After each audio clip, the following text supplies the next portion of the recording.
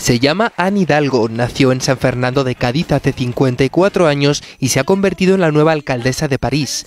Con estos datos, Hidalgo aporta dos novedades importantes a la política francesa. Es la primera mujer en ocupar este cargo y la primera persona de origen extranjero que dirige la ciudad. Sus primeras palabras como alcaldesa hacen referencia a esta particularidad. Soy la primera mujer alcaldesa de París.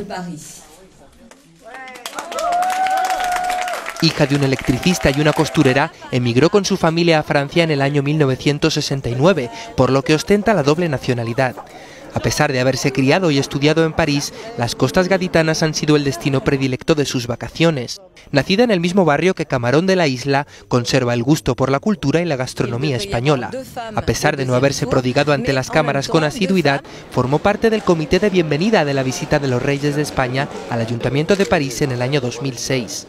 También ha recibido a otras personalidades de la política y la sociedad española en sus viajes a Francia.